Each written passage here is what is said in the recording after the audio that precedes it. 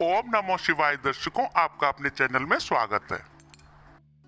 खर्चा हो रहा है या फिर घर में क्लेश बना हुआ है या घर में बीमारियाँ बढ़ी हुई है तो एक काम करना प्रारंभ कर दो।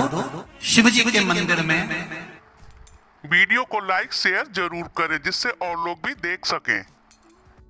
जब एकादशी का दिन रहे और शंकर जी के मंदिर में आप जल समर्पित करें तो तीन बार मुख से स्वधा स्वधा स्वधा।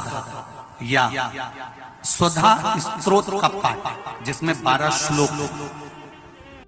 ज़्यादा पितृदोष हो, ज़्यादा तकलीफ़ चल रही हो, बहुत ज़्यादा कष्ट में हो तो शिव मंदिर में बैठकर या घर के मठ का परिंडा या पूजन वाली जगह पर बैठकर बारह श्लोक का सुधा स्त्रोत का पाठ भी कर सकते जो चैनल है, उसको सब्सक्राइब करना है आपको।